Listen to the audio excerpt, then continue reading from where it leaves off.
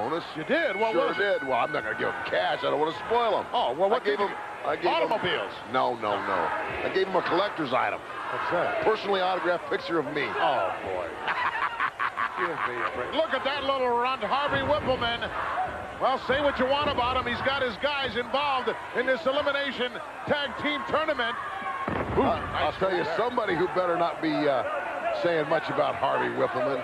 Who's that? Howard Finkel. My pal Howie? He, I guess he would be one of your friends. Well, well what, what's wrong with Howard? What do you got against him? What's wrong with Howard? Can you imagine the audacity of a man pulling another guy's pants off on television? Oh, that, inadvertently that happened, DiBiase. You do need glasses. Oh. He did it on purpose, Monsoon. He did? Yes, he did. Well, that little runt probably deserved it. Oh, I understand. He should be thanking. Oh, look at that move. He should be thanking Howard because I understand that he was deluged with belts from all over the country, all over the world. And- oh, nice drop kick there. Why would they send him belts? Well, because he, they don't want to see that ugly sight again Oh, please. of Harvey without any pants on. Well, they ought to send a few belts to Howard, have him put a bag over his head, and wrap the belts around that. hey, I'd like to see a match between those two guys. Yeah, Howard- interesting. Yeah, interesting. Howard Finkel couldn't whip. Look at this.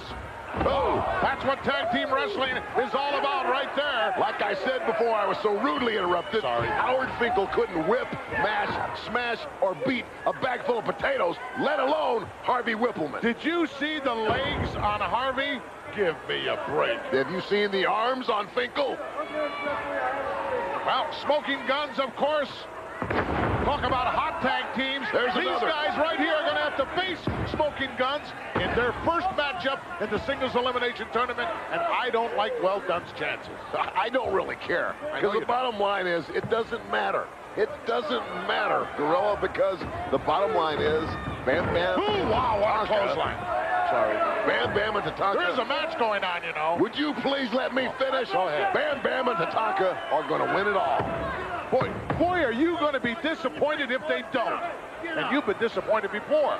Not very. Headbutt finds the mark. Wow. Of course, everybody talking about the Royal Rumble, all the big matches.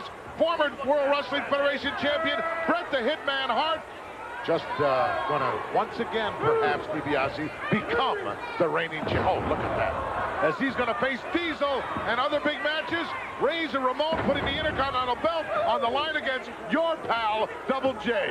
That's right. And finally, wow. we'll get rid of the grease ball. Oh, please. Not only will Double J be the host of Las Vegas, he'll be the new Intercontinental Champion. And boy, that'll open some doors. He'll be bigger than ever.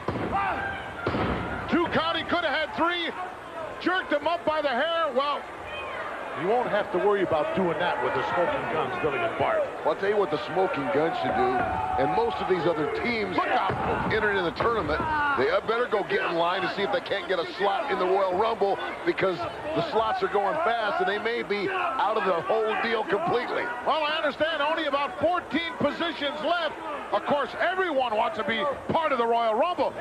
You know, where else are you going to get a prize like that? A shot at WrestleMania 11 against whomever the reigning WWF champion is at that time. Well, What a prize. Oh, wow, what a slingshot. once again, it doesn't matter who the champion Nothing is at you. that time because King Kong Bundy's going to win that one. This one is over.